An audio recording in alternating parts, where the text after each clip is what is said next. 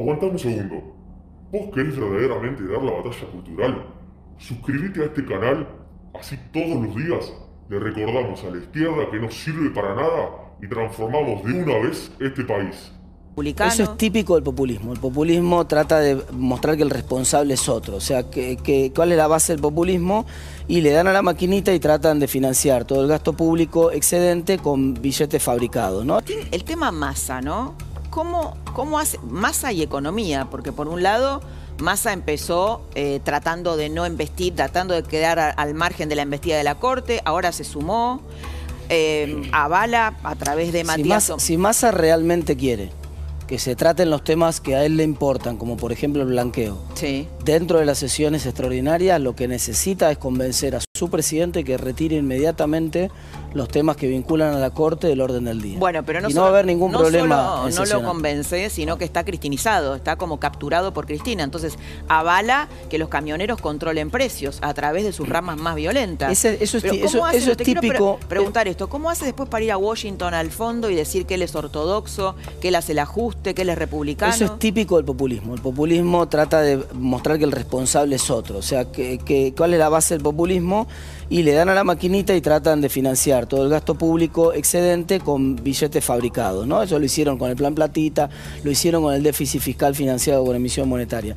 Entonces después se hacen los distraídos y dicen, yo no tengo nada que ver. Esto, lo de los camioneros es parte de esa pantomima de tratar de deslindar responsabilidad, de decir, no, no, nosotros con la inflación no tenemos nada que ver. Tan es así que vamos a poner un ejército de gente a controlar los supermercados, porque no puede ser que esto, ¿te acordás cuando Kisilov despotricaba contra, lo, contra por ejemplo, el Club de París y después se arreglaba y le pagaba todo?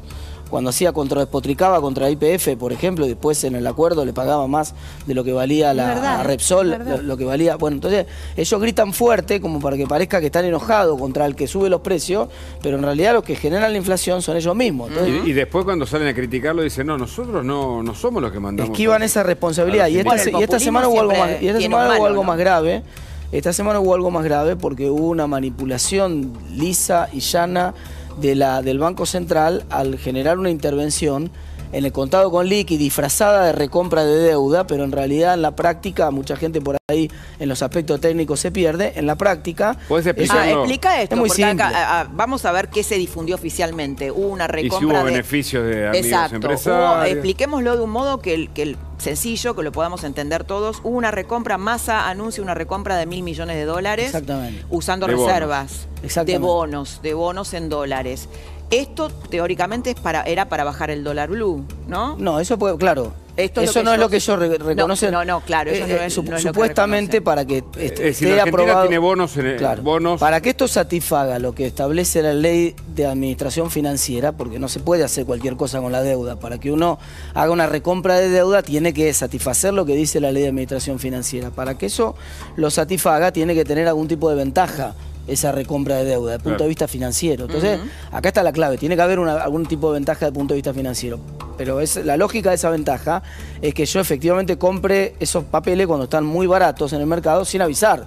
Si yo aviso cuando salen 18, 19, 20, doy a entender que voy a participar en el mercado comprando y después termino pagando 30, 32, 35, bueno, evidentemente estoy pagando más de lo que esos papeles valían. Entonces, eso ya genera muchas dudas. Pero en la práctica... En ¿Dudas de que más haya querido beneficiar a algunos amigos? Yo, nosotros, hicimos un pedido, nosotros hicimos un pedido de informe. para que explique esto en el Congreso. Para que vaya al Congreso y explique claramente, ojalá, Ojalá, yo sé que él ha ido muchas veces a Congreso, porque obviamente fue presidente de la Cámara, pero además siempre se ha, mostrado dispuesto a ir. Ojalá esta no sea la, no sea la excepción, venga al Congreso y explique claramente las, las condiciones bajo las cuales tomó la decisión y por qué lo hizo de esa manera. Pero además déjeme decirle que en la práctica lo que está pasando es que el gobierno está operando dentro del mercado de contado con líquidos y lo que está haciendo, tratando de hacer es vender en 350 millones de dólares, porque dicen mil millones, pero como el valor de los bonos es mucho menor, son 300, 350 millones de dólares que inserta en el mercado del contado con liqui. Vende. ¿Para qué vende? Y para que el precio caiga. Entonces, ¿qué busca? Y que los dólares paralelos que son los que se habían empezado a recalentar, empiecen a, bajar, para frenar un poco. ¿Y eso puede ser efectivo? ¿Le bueno, pueden bajar un poco? Mm, sí, claro, eso va a tener algún, puede tener algún efecto en el, contado con liqui eh, esta medida, es, meter 350 millones de dólares en un mercado, por supuesto. ¿Y lo que pasa es que lo que genera, perdóname, te termino de cerrar esta idea.